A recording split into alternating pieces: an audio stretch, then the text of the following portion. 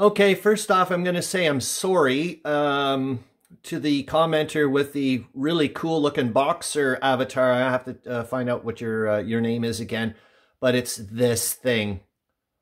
See this?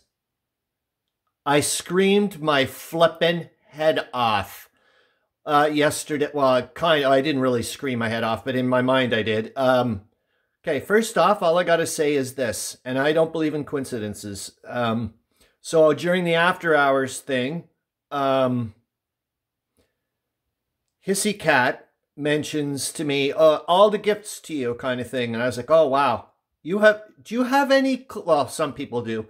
This is uh, so much what I wanted from freaking um, YouTube channel. It's not funny. Why? Because it's going to un unlock so many flipping ways for me to interact. Look, I can do tiny little videos, text polls, image polls, images.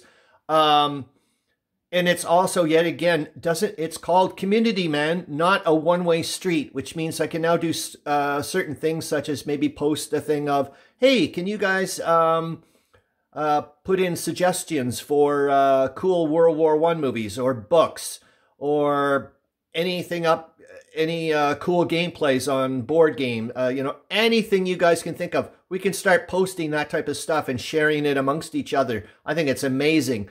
Uh, also, uh, Math Fun and Games was uh, sent me a message saying, "Hey, what do you think about doing like a uh, World War One uh, Book of the Month club or something like a book club or whatever?" And you know, and I was thinking, "Hey, maybe," and he was like, "You know, we could all uh, pick a chapter, or whatever, and you know, discuss it during the live streams, that type of stuff." And I'm thinking, what I'm saying is, let's let's push the boat out a little bit and start thinking about all kinds of funky things. Here's another one I wanted to show you.